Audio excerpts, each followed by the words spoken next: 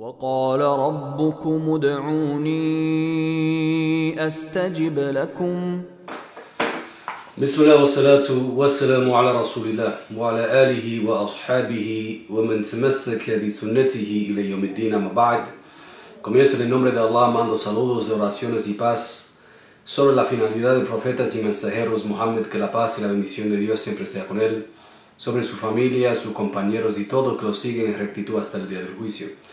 Verdaderamente la mejor palabra es el libro de Allah subhanahu wa ta'ala, el Corán, y la mejor guía es la guía de Muhammad, que la paz y la bendición de Dios esté con él.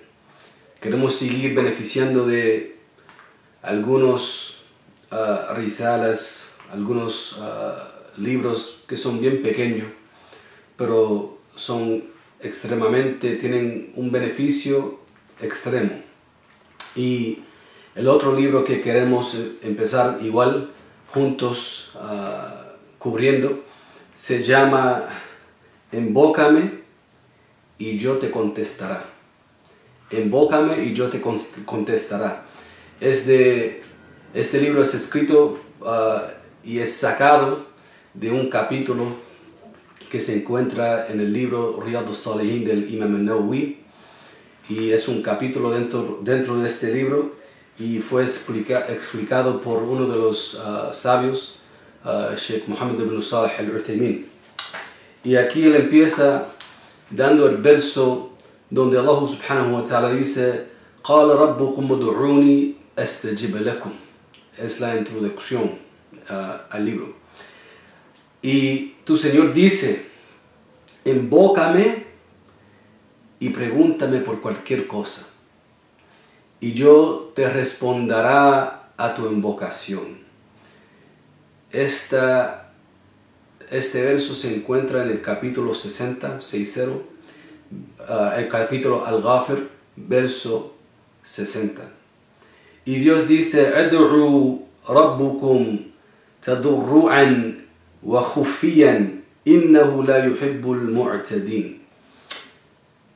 Invoque a tu Señor con humildad y en secreto verdaderamente Allah subhanahu wa ta'ala no le gusta a la gente que hacen transgresión.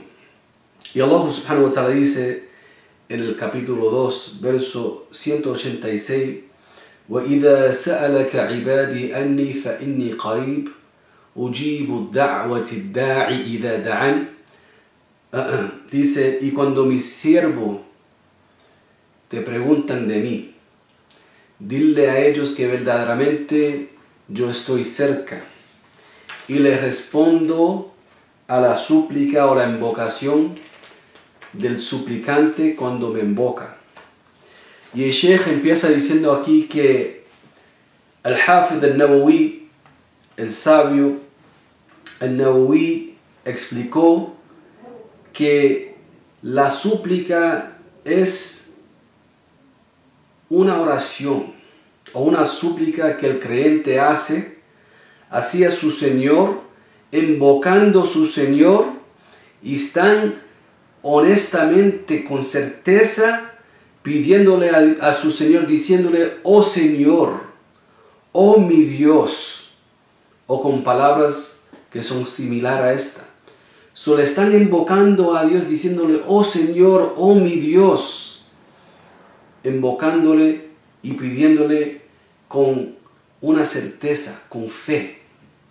Y él dice que el verso وقال ربكم ربكم ادعوني استجب لكم cuando tu Señor dice invócame y pregúntame por cualquier cosa y te responderá a tu invocación él dice que este verso es un, una promesa de Dios y que Dios nunca rompe su promesa.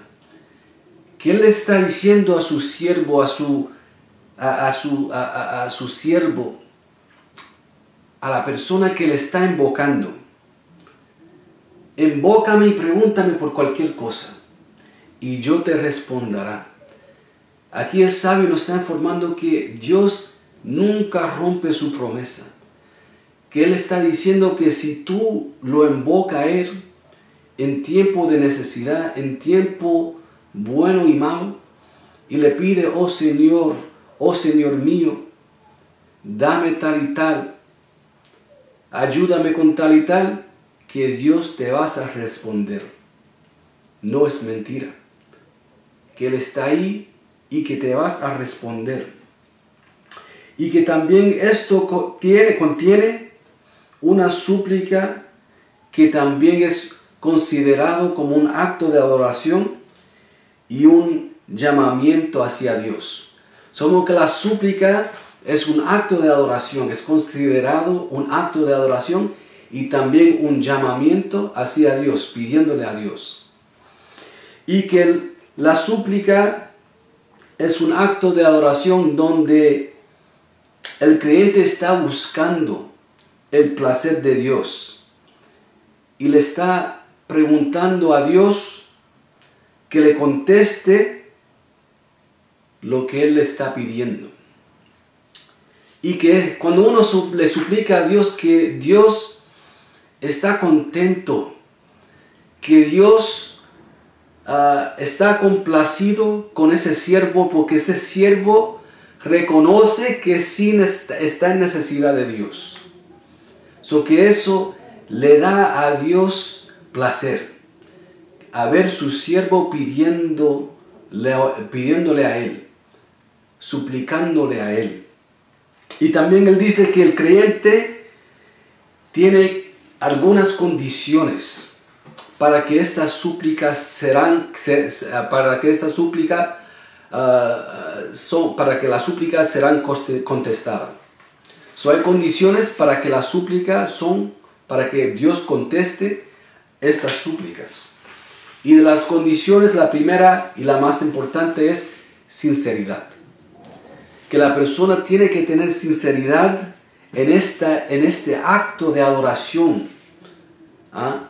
Y que también tiene que saber que siendo sincero es que solo le está pidiendo a Dios.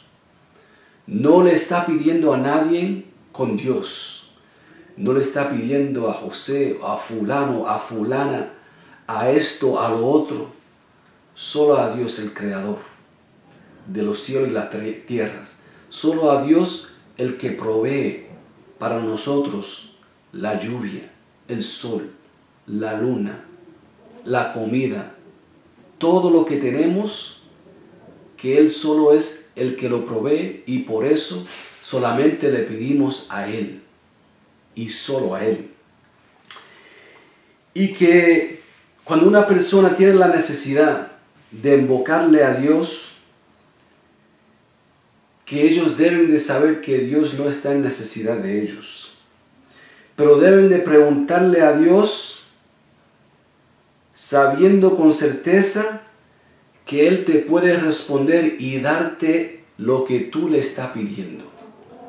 So, sabiendo que uno está en necesidad y que Dios no necesita, pero tengo certeza de lo que yo le pregunto a Dios, que sí Él me lo puede dar.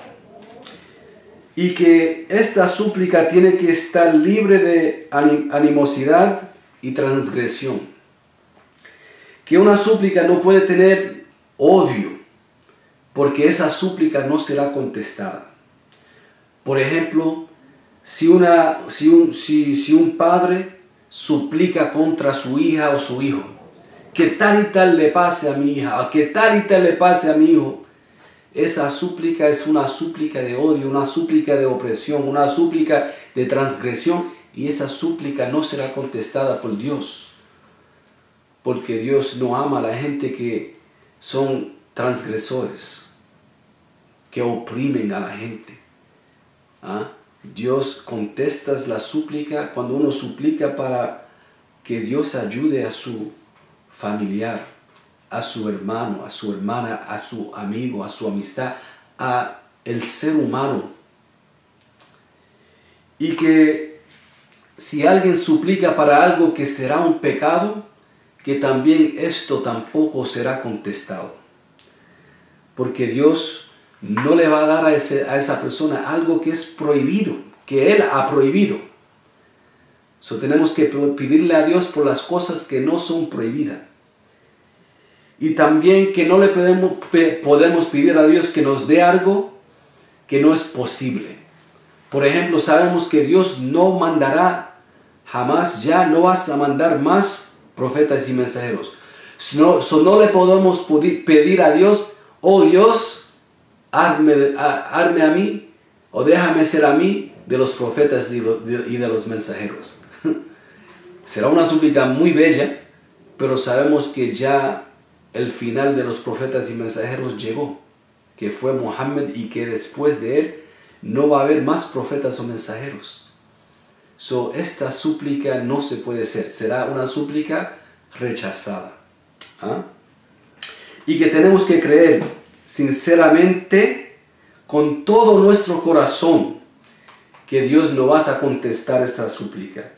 Y si una persona tiene una duda que Dios no va a, a contestar la súplica, entonces esa súplica será rechazada.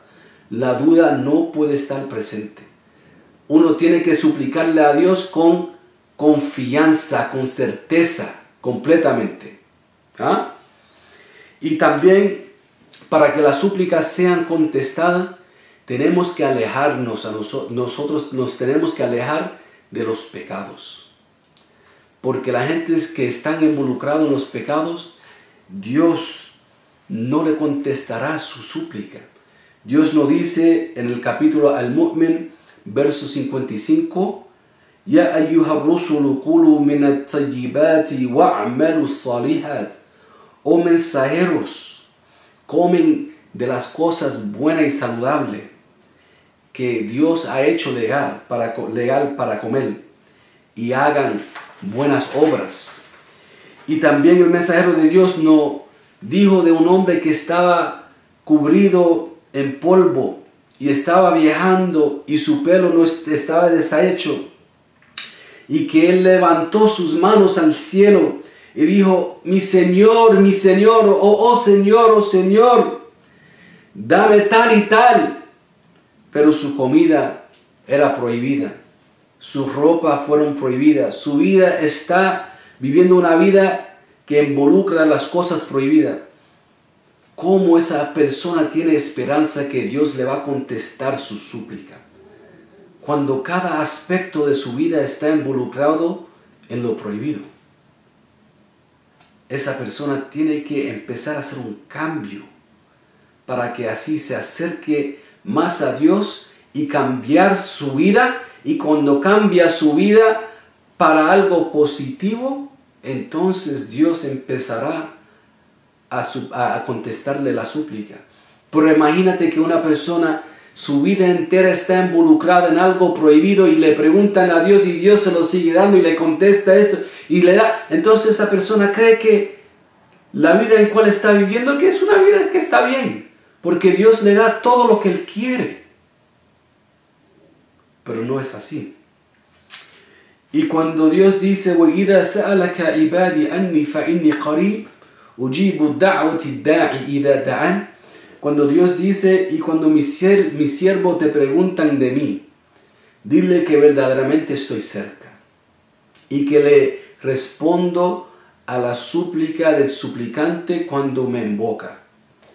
Él está diciendo aquí, Sheikh, que tenemos que saber que esto, que verdaderamente estoy cerca, que no está hablando Dios en proximidad, pero que está hablando Él en su conocimiento. Porque sabemos que Dios está por encima de los siete cielos y por encima de los siete cielos en una manera en cual Él desea estar. Y también el profeta dijo que Dios está más cerca a unos de ustedes del cuello del, de, de, de, del cuello del animal en cual está, él, él, está montado, diciendo que Dios está más cerca que esto. El cuello del animal, que Dios está más, cerca, más cerca que esto. Pero está diciendo otra vez aquí en conocimiento, en sabiduría, que todo lo sabe, todo lo oye, todo lo ve. Y que cuando Dios dice aquí que yo contestará la súplica, que tenemos que saber que sí, que Dios va a contestar la súplica. Y que si le rezamos con sinceridad, libre de pecado y libre de una vida llena de actos que son prohibidos, que si estamos libres de estas cosas, que Dios no contestará nuestra súplica. Mis queridos hermanos y hermanas, so recuérdanse que Dios nos está informando que deberemos suplicarle a Él y que Él no vas a contestar nuestra súplica. So, tenemos que empezar a vivir una vida con intención de siempre estar involucrado en suplicándole a Dios, porque verdaderamente Dios es el que nosotros estamos en una gran necesidad de Él. Y si nos ponemos a hacer esta práctica de suplicarle a Dios diariamente, vamos a tener una relación con Dios que será maravillosa. Inshallah ta'ala, si Dios quiere, lo dejaremos ahí por esta noche, por este recordatorio. سبحانك اللهم وبحمدك أشهد أن لا إله إلا أنت أستغفرك وأتوب إليه جزاكم الله خيرا والسلام عليكم ورحمة الله وبركاته